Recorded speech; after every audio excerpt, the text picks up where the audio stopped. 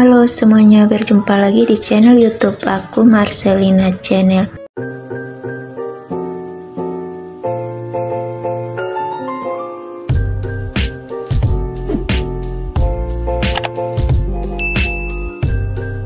Oke, pada video aku kali ini aku akan share ke teman-teman tentang tutorial cara belanja di Lazada dengan pembayaran di tempat atau COD terbaru. Dan di sini saya akan kasih tahu teman-teman tentang bagaimana cara memesan beberapa barang di toko yang berbeda dan metode pembayarannya COD atau bayar di tempat. Buat kalian yang penasaran silahkan simak videonya. Pertama, kalian buka aplikasi Lazada yang ada di handphone kalian dan setelah muncul tampilan awalnya seperti ini, selanjutnya kalian klik pada menu pencarian di atas. Dan silakan kalian tulis nama produk yang ingin kalian pesan. Misalnya saya ingin memesan jaket pria. Langsung saja klik cari. Maka akan muncul tampilan produknya seperti ini. Dan buat teman-teman yang ingin menggunakan metode pembayaran COD atau bayar di tempat, caranya kalian klik pada tanda di atas dan di bagian layanan ini kalian pilih yang bayar di tempat dan pengiriman produknya dari kota mana silahkan kalian pilih sesuai dengan keinginan kalian. Di sini saya pilih yang Jabodetabek, kemudian selanjutnya klik pada tulisan selesai. Dan teman-teman silahkan scroll ke bawah untuk melihat produk mana yang mau kalian pesan. Dan sebagai contoh di sini, misalnya saya ingin memesan jaket yang ini, langsung saja klik pada gambarnya dan untuk harga jaketnya 51.400 ratingnya 4,6 kemudian selanjutnya teman-teman silahkan scroll ke bawah untuk melihat penilaian dan ulasannya. Dan teman-teman juga bisa klik pada tulisan ikuti untuk mengikuti toko produk tersebut. Dan selanjutnya klik pada tulisan tambah ke trole dan silakan kalian pilih warna dan ukurannya sesuai dengan keinginan kalian Kemudian klik pada tulisan tambah ke trole.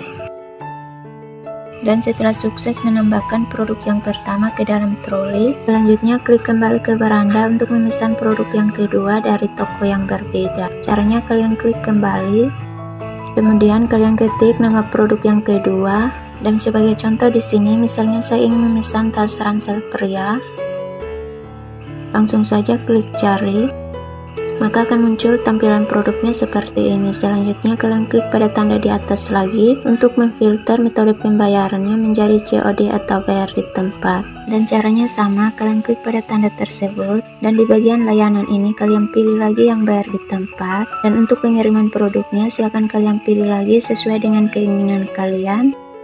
Kemudian selanjutnya kalian klik pada tulisan selesai dan silakan kalian scroll ke bawah untuk melihat produk mana yang mau kalian pesan lagi. Dan sebagai contoh di sini, misalnya saya ingin memesan lagi tas yang ini, langsung saja klik pada gambarnya. Dan untuk harga tasnya 39.900, ratingnya 4,6, dan untuk variasinya ada dua warna.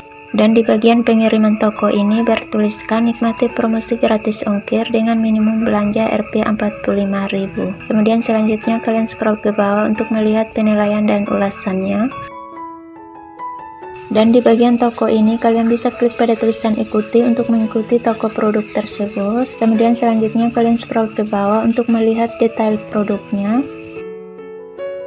Selanjutnya kalian klik pada tulisan tambah ke troli dan silakan kalian pilih warnanya sesuai dengan keinginan kalian.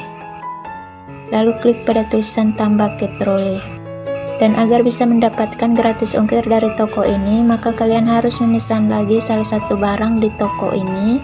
Caranya kalian klik pada tulisan kunjungi toko. Kemudian kalian klik pada tulisan semua produk. Dan silakan kalian scroll ke bawah untuk melihat salah satu produk lagi di toko ini dan sebagai contoh di sini, misalnya saya ingin memesan lagi tas yang ini, langsung saja klik pada gambarnya. Dan untuk harga tas yang kedua ini Rp 15.000. Selanjutnya silakan kalian scroll ke bawah untuk melihat ulasan dan detail produknya. Kemudian selanjutnya klik pada tulisan tambah ke troli. Dan setelah kalian selesai, tambahkan semua produk yang ingin kalian pesan ke dalam troli Selanjutnya kalian klik pada keranjang di atas dan silakan kalian beri centang pada semua produk yang udah kalian tambahkan ke dalam troli tadi. Kemudian selanjutnya klik pada tulisan checkout. Maka akan muncul tampilan seperti ini. Pastikan kalian sudah mengisi alamat lengkap kalian. Dan buat kalian yang belum mengisi alamat lengkapnya, kalian bisa klik pada tanda di samping. Kalian klik lagi pada tulisan tambah alamat baru dan silakan kalian masukkan alamat lengkap kalian. Dan setelah kalian selesai masukkan alamat lengkap kalian, selanjutnya kalian klik kembali. Dan silakan kalian scroll ke bawah untuk melihat metode pembayarannya. Caranya kalian klik pada tulisan lihat semua metode. Dan silakan kalian pilih metode pembayarannya sesuai dengan keinginan kalian. Dan di sini semua produk yang dipesan semuanya otomatis menggunakan yang bayar di tempat karena sebelum memesan barang-barang ini tadi sudah memfilter metode pembayarannya menjadi bayar di tempat. Kemudian selanjutnya kalian scroll ke bawah. Nah, jadi di sini subtotal untuk tiga produk tersebut Rp 105.751 biaya pengirimnya 6.900 dan di sini saya mendapatkan voucher pengiriman Rp 6.900 jadi jumlah pesanannya hanya Rp 105.751 sesuai dengan jumlah harga produknya. Kemudian selanjutnya klik pada tulisan buat pesanan Oke, sekian dulu video dari aku. Semoga video ini bermanfaat dan jangan lupa like, komen, dan subscribe serta share ke sosial media yang kalian punya. Sampai jumpa di video selanjutnya.